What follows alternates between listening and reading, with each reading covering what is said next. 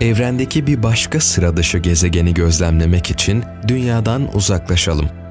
Gezgin gezegen SIMP J01 365663. Bu gezegen balık takım yıldızında. Dünyadan yaklaşık 20 ışık yılı uzaklıkta yer alıyor.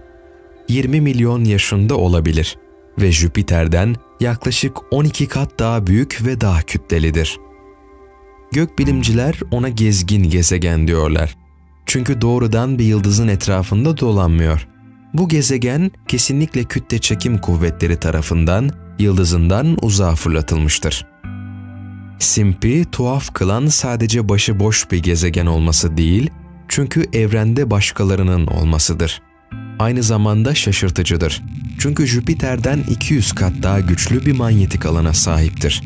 Sonuç olarak atmosferi elektrikle yüklü ve sürekli olarak gözlemlenebilir.